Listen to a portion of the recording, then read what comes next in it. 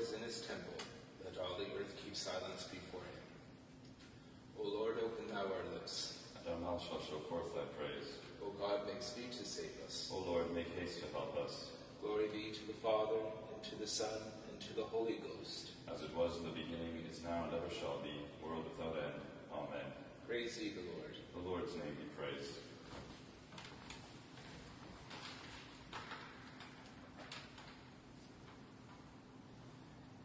O be joyful in God, all ye lands. Sing praises unto the honor of his name. Make his praise to be glorious. Say unto God, Oh, how wonderful are thy works!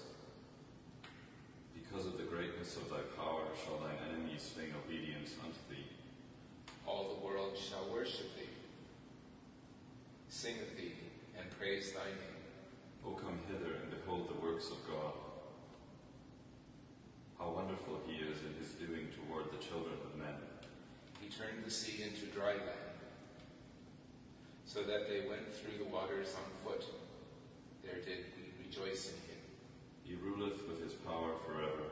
His eyes keep watch upon the nations. Let not such as be rebellious exalt themselves. O praise our God, ye peoples, and make the voice of his praise to be heard. Who holdeth our soul in life, suffereth not our feet to slip. For thou, O God, hast proved us. Thou also hast tried us, like as silver is tried. Thou didst bring us into the snare, and didst lay trouble upon our loins. Thou didst suffer men to ride over our heads. We went through fire and water, but thou didst bring us out into a place of freedom. I will go into thine house with burnt offerings. I will pay thee my vows. which I promised with my lips, and spake with my mouth when I was in trouble. I will offer unto thee fat burnt sacrifices with the incense of rams. I will offer bullocks and goats. O come hither and hearken, all ye that fear God, and I will tell you what he hath done for my soul. I called unto him within with my mouth, and gave him praises with my tongue. If I had wickedness in my heart, the Lord would not have heard me. But verily God hath heard me, and considered the voice of my prayer. Praise be God, who hath not cast out my prayer, nor turned his mercy from me. Glory be to the Father, and to the Son, and to the Holy Ghost. As it was in the beginning, is now, and ever shall be, world without end. Amen.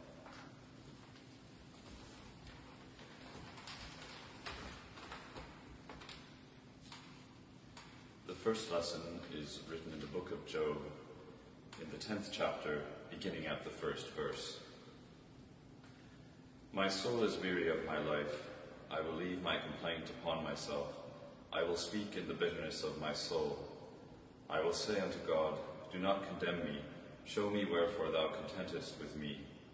Is it good unto thee that thou shouldest oppress, that thou shouldest despise the work of thine hands, and shine upon the counsel of the wicked? Hast thou eyes of flesh, or seest thou as man seeth? Are thy days as the days of man? Are thy years as man's days, that thou inquirest after mine iniquity, and searchest after my sin? Thou knowest that I am not wicked, and there is none that can deliver out of thine hand. Thine hands have made me and fashioned me together round about, yet thou dost destroy me. Remember, I beseech thee, that thou hast made me as the clay, and wilt thou bring me into the dust again? Hast thou not poured me out as milk, and curdled me like cheese? Thou hast clothed me with skin and flesh, and hast fenced me with bones and sinews. Thou hast granted me life and favour, and thy visitation hath preserved my spirit. And these things hast thou hid in thine heart. I know that this is with thee. If I sin, then thou markest me, and thou wilt not acquit me from mine iniquity. If I be wicked, woe unto me. And if I be righteous, yet will I not lift up my head. I am full of confusion, therefore see thou mine affliction. For it increaseth. Thou huntest me as a fierce lion, and again thou showest thyself marvellous upon me. Thou renewest my witness against me, and increasest thine indignation upon me. Changes and war are against me. Wherefore then hast thou brought me forth out of the womb? O that I had given up the ghost, and no eye had seen me. I should have been as though I had not been. I should have been carried from the womb to the grave. Are not my days few? Cease then, and let me alone, that I may take comfort a little, before I go whence I shall not return, even to the land of darkness and shadow of death. A land of darkness is darkness itself, and of the shadow of death without any order, and where the light is as darkness. Here endeth the first lesson.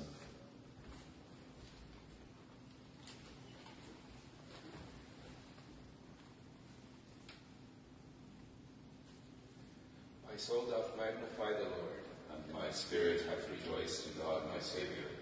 For he hath regarded the lowliness of his handmaiden. For behold, from henceforth all generations shall call me blessed. For he that is mighty hath magnified me, and holy is his name. And his mercy is on them that fear him throughout all generations. He hath showed strength with his arm. He hath scattered the proud in the imagination of their hearts. He hath put down the mighty from their seat, and hath exalted the humble and meek. He hath filled the hungry with good things, and the rich he hath sent empty away. He, remembering his mercy, hath opened his servant Israel, as he promised to our forefathers, Abraham and his seed forever. Glory be to the Father, and to the Son, and to the Holy Ghost. As it was in the beginning, is now, and ever shall be, world without end. Amen.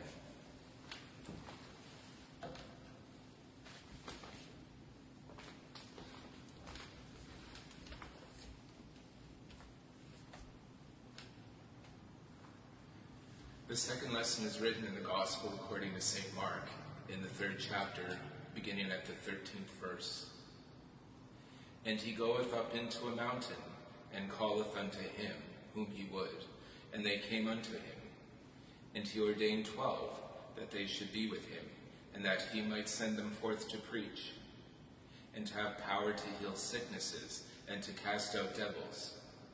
And Simon he surnamed Peter, and James the son of Zebedee, and John the brother of James, and he surnamed them Boanerges, which is the sons of thunder, and Andrew and Philip and Bartholomew and Matthew and Thomas and James the son of Alphaeus and Thaddeus and Simon the Canaanite, and Judas Iscariot, which also betrayed him, and they went into a house. And the multitude cometh together again, so that they could not so much as eat bread. And when his friends heard of it, they went out to lay hold on him, for they said, He is beside himself. And the scribes which came down from Jerusalem said, He hath Beelzebub, and by the prince of the devils casteth he out devil. And he came them unto him, and said unto them in parables, How can Satan cast out Satan? And if a kingdom be divided against itself, that kingdom cannot stand. And if a house be divided against itself, that house cannot stand. And if Satan rise up against himself and be divided, he cannot stand, but hath an end. No man can enter into a strong man's house and spoil his goods, except he will first bind the strong man, and then he will spoil his house. Verily I say unto you, all sins shall be forgiven unto the sons of men, and blasphemies wherewith soever they shall blaspheme. But he that shall blaspheme against the Holy Ghost hath never forgiveness, but is in danger of eternal damnation, because they said he hath an unclean spirit. There came then his brethren and his mother, and standing without, said unto him, calling him. And the multitude sat about him, and they said unto him, Behold, thy mother and thy brethren without seek for thee. And he answered them, saying, Who is my mother or my brethren? And he looked round about on them which sat about him, and said, Behold my mother and my brethren. For whosoever shall do the will of God, the same is my brother and my sister and mother. Here ends the second lesson.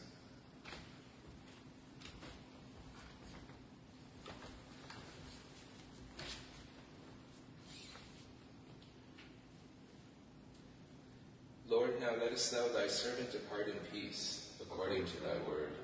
For mine eyes have seen thy salvation, which thou hast prepared before the face of all people, to be a light to lighten the Gentiles, and to be the glory of thy people Israel. Glory be to the Father, and to the Son, and to the Holy Ghost. As it was in the beginning, is now, and ever shall be, world without end. Amen. I believe in God, The Father Almighty, maker of heaven and earth, and in Jesus Christ, his only Son, our Lord, was conceived by the Holy Ghost, born of the Virgin Mary, suffered under Pontius Pilate, was crucified, dead, and buried. He descended into hell. The third day he rose again from the dead. He ascended into heaven, and sitteth on the right hand of God the Father Almighty. From thence he shall come to judge the quick and the dead. I believe in the Holy Ghost, the Holy Catholic Church, the communion of saints, the forgiveness of sins, the resurrection of the body, and the life everlasting. Amen. the Lord be with you. And with thy spirit. Let us pray.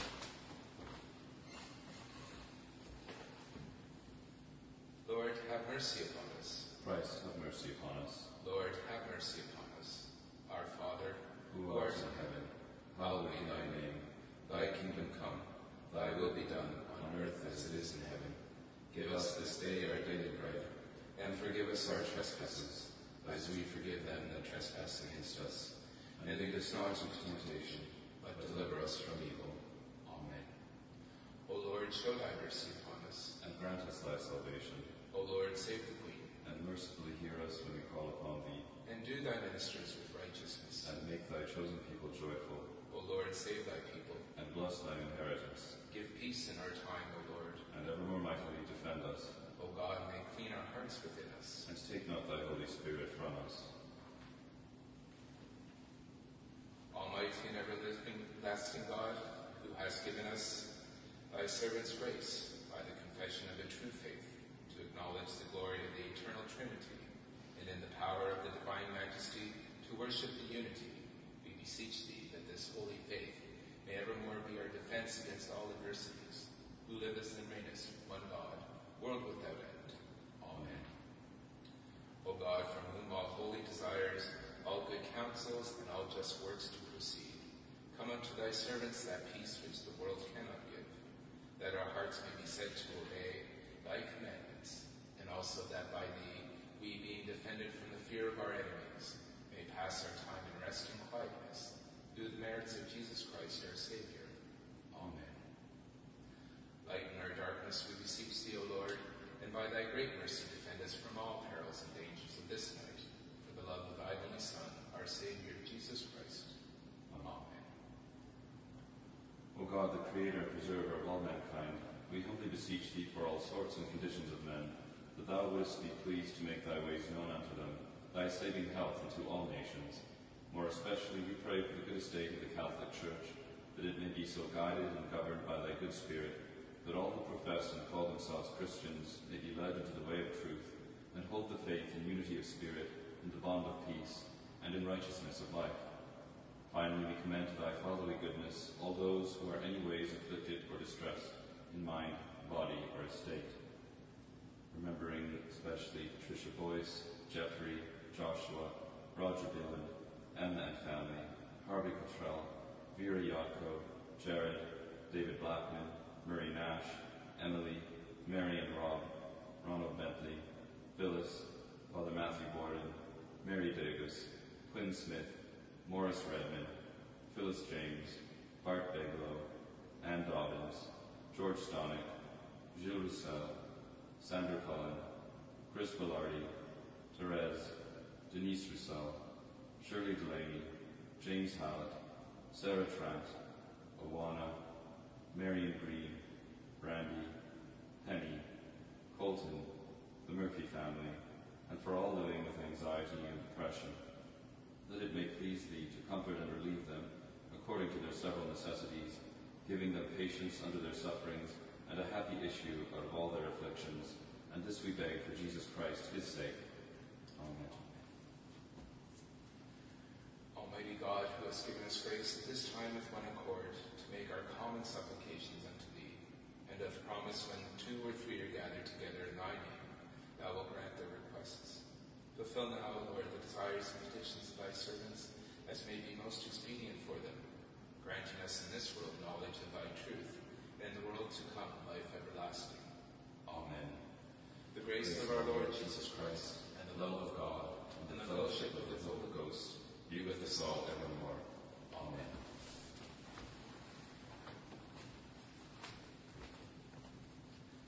The angel of the Lord brought tidings unto Mary. And she conceived by the Holy Ghost. Hail Mary, full of grace, the Lord is with thee. Blessed art thou among women, and blessed is the fruit of thy womb, Jesus. Holy Mary, Mother of God, pray for us sinners now and at the hour of our death. Amen. Behold the handmaiden of the Lord. Be it unto me according to thy word. Hail Mary, full of grace, the Lord is with thee. Blessed art thou amongst women, and blessed is the fruit of thy womb, Jesus. Holy Mary, Mother of God, pray for us sinners now and at the hour of our death. Amen. And the Word was made flesh. And dwelt among us. Hail Mary, full of grace, the Lord is with thee. Blessed art thou amongst women, and blessed is the fruit of thy womb, Jesus. Holy Mary, Mother of God, pray for us sinners now and at the hour of our death. Amen. Pray for us, O Holy Mother of God. That we may be made worthy of the promises of Christ. We beseech thee, O Lord, pour thy grace into our hearts, as we have known the incarnation of thy Son, Jesus Christ, by the message of an angel, so by his cross and passion, we may be brought into the glory of his resurrection. Through the same Jesus Christ our Lord. Amen. The Lord be with you. And with thy spirit. Let us bless the Lord. Thanks be to God. May the divine assistance remain with us always, and may the souls of the faithful departed, through the mercy of God,